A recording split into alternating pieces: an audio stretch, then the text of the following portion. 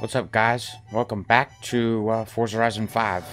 Today we have some, uh, we're just gonna drive around, do some shenanigans in the game, you know? First off, we're gonna do it by driving off the, uh, the cliff inside the game, you know? So, yeah. And, uh, should be pretty fun. We're just gonna drive off the cliff and ram into the cactus.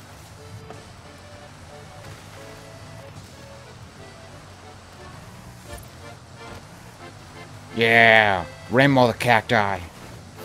Let's go, hit the trees. We're approaching the festival.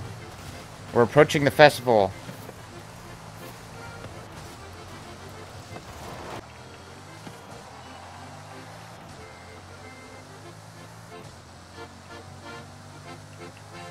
Alright guys, so we're gonna just drive really fast and see where it takes us.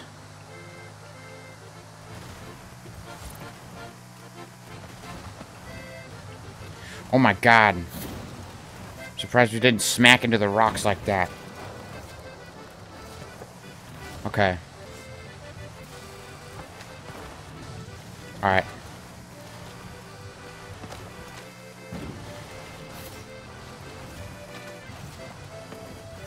Alright, now we're driving now we're driving in the fields.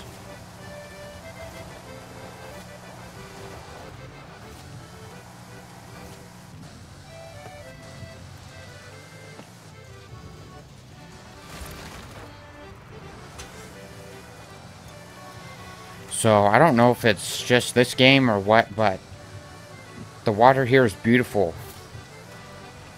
Since it's Wednesday, I'll let you have a free drink.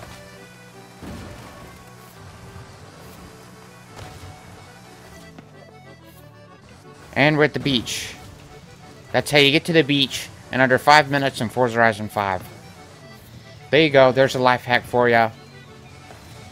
And then you just gotta drive, dude. That's it.